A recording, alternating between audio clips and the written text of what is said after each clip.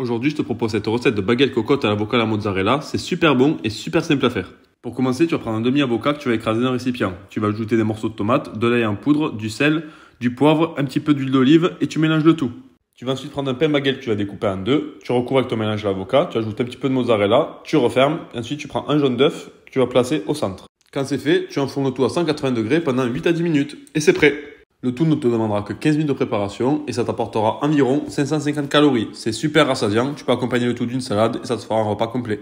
Si tu veux perdre du poids en mangeant ce genre de recette, tu peux télécharger gratuitement mon plan alimentaire sur 7 jours, le lien est sur mon profil. Abonne-toi